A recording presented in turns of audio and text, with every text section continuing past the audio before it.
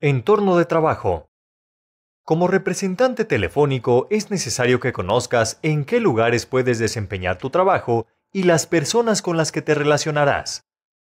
En el campo de trabajo puedes emplearte en un centro de llamadas conocido como call center.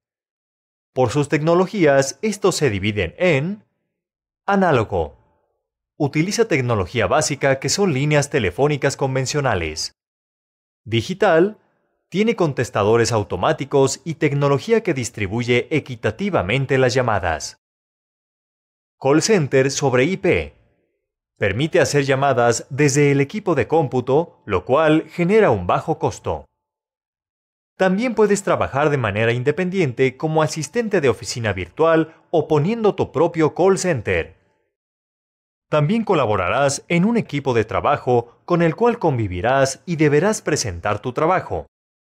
En empresas muy grandes se tienen varios team leaders o jefes de grupo, que son encargados de los grupos de representantes telefónicos.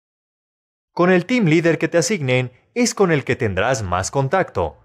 Este se encargará de dirigir y organizar el trabajo. En algunas ocasiones tendrás contacto con el supervisor.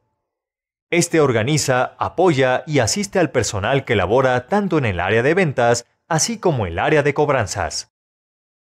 Tu interacción con el cliente puede ser intensa, diversa y a distancia, por lo que debes cuidar tu voz y actitud, ya que son tus principales recursos para el éxito de esta labor.